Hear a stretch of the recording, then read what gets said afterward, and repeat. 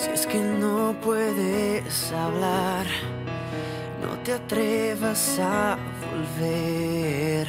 Si te quieres ocultar, tal vez te podría ver.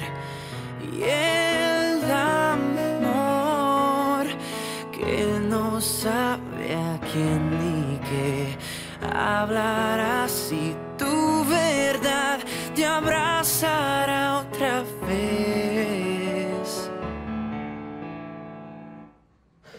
Hola, Vilu.